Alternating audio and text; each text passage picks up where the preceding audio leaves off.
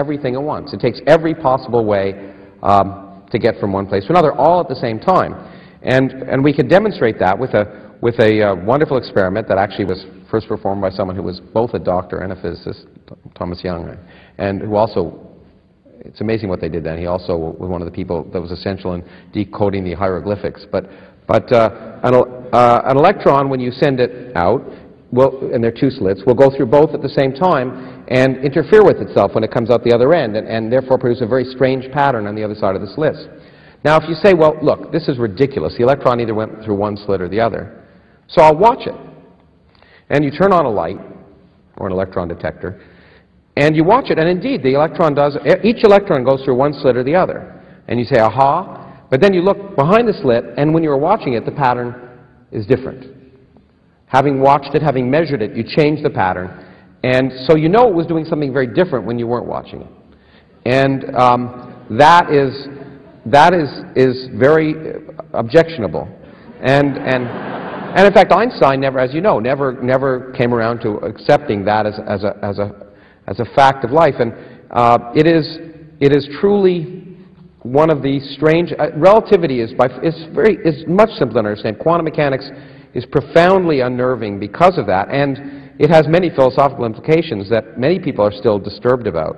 And, uh, and it's an we're, we're trying to understand, in fact, my own field, I, something I'm just working on, involves trying to understand if the universe is quantum mechanical, um, what, does it, what does a measurement mean? Because if you're an external observer turning a light on an electron, then you can understand that you might affect it. But if the universe as a whole is a quantum mechanical system, which it surely is if quantum mechanics governs it, then what does it mean if you're inside of it? And one of the pictures that people use to guide themselves now, which is called the many worlds interpretation, which is just ridiculous, is that every time I look out at you, I force you to be in a, in a specific configuration, just like that electron. But there's an infinite number of other universes that are existing at the same time in which, you know, one of you is up here and I'm in the audience. And they're all coexisting at the same time. And, and, so every time we make an observation, this quantum wave function of the universe branches into an infinite number. And it's just, and, it, and that infinity keeps multiplying. And it's really, it's probably the only classical way to understand what's happening, but it's so ridiculous that I think if you, that most people wouldn't accept, and I'm not sure most physicists Well, you, you, say it's ridiculous, but I mean, so is the alternative ridiculous. I mean, you, it's almost as though you need a ridiculous theory to understand this, this ridiculous observation. Well, actually, that's a good point. Let, let, let, that's a good point. I hadn't thought of that. That's actually, that's actually. Well, if, let, if you take the, the Copenhagen interpretation of the, uh, um, say, Schrodinger's cat, yeah. Um, um, it, it's completely ridiculous, but then so is the many worlds interpretation completely ridiculous. Um, well, that's what's great about quantum mechanics, is every interpretation is completely ridiculous, yes. I guess, yeah. Well, uh, well we, we got into this by comparing it with, with Darwin's achievement, and however you might say there's a certain foreignness about understanding Darwinism. You've got to get your mind from a timescale of seconds, minutes, years, decades, perhaps centuries, which we're quite accustomed to. You've got to, to switch to hundreds of millions of years. Well, that's difficult, but it's not difficult in the same league as, as the quantum um, difficulty. Well, well and that brings up something interesting, that, which is that, so you mentioned quantum theory. And so we don't have people going to schools and, and, um, and demanding that, that it's, a, it's a theory after all.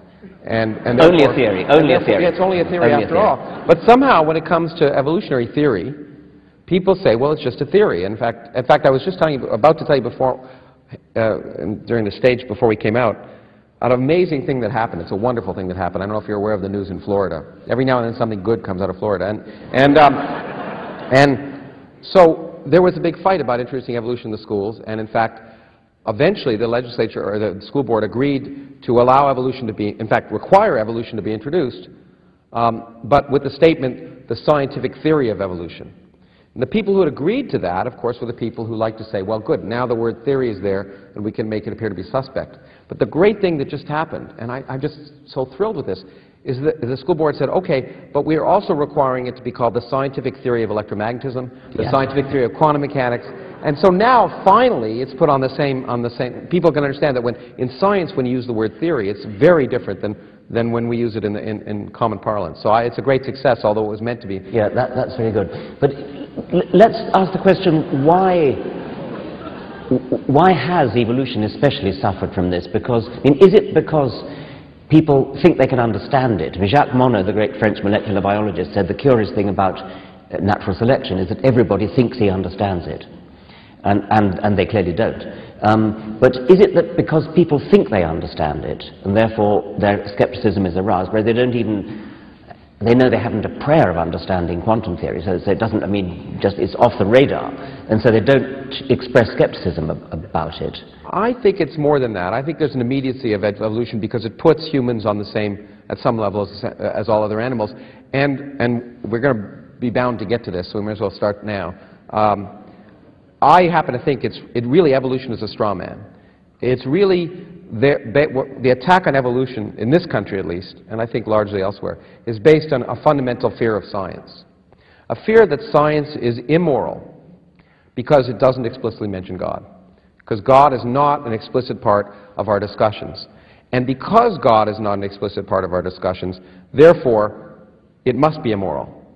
And, has, and that's why all these people are not so much trying to um, uh, attack evolution per se, is to say what we want to do is, in fact, have a theistic understanding Im imposed upon science classes so that scientific materialism, which has led, if you look at the literature of these people, has led to all the evil things in the world, um, uh, is now turned into a moral subject. So I think that I think it's this immediacy that the, it's the biggest slap in the face to some people yeah, but why wouldn't physics have that, have that same effect? No, because I think it's, it, it doesn't, it, it, doesn't, it's not so personal, which is one of the reasons why I think people are, are many people are more intimidated by physics, is, is, because it's not so personal. Biology, I think it's one of the reasons biology is taught first in high schools, which I think is a huge mistake. And in fact, me and a, and a, a physicist named Leon Lederman were working to try to get physics taught first, not because we like physics better, but, uh, uh, but because the reason I, maybe one of the reasons I'm not a doctor is that, you know, I, I was taught biology and I had to memorize all this stuff. And, but in fact, of course, physics is the basis of chemistry, and chemistry is the basis of biology. So if you really want to understand biology, at some level, you should understand things like energetics and, yeah. and, and yes. mechanisms. And so uh, I think, but the reason biology is taught first, I think, is that many people feel, because it's about things you can see and touch and, and immediate things, it's much more intuitive and much more friendly. And, but at the same time, it's much more terrifying to, in some sense, for some people, to say that humans are on exactly the same plane at, at, at some level as every other yeah. animal that's ever walked across the earth. And, and, and for, for you, and uh, you said it's a good thing that it, attack, that, it, that it attacks that belief that some people have that humans are special and different. But for those other people, they'd say that's why science is bad. It shouldn't attack that because we are divinely inspired and we have been and God has created us in, in her image. Within biology... It's all right. That was Okay, that was pandering. It's okay. Don't, don't, don't. No. Within biology, uh, the order is wrong as well. Um, evolution is taught last, at least it, it is in Britain. And so many people get to the end of their biological education never having learned about evolution. That means they learn all about facts just like you did as a doctor when you weren't, weren't becoming a doctor. Yeah. Um, they learn all about lots and lots of facts, lists and lists of facts, and not the slightest inkling of the explanation. And the explanation has been with us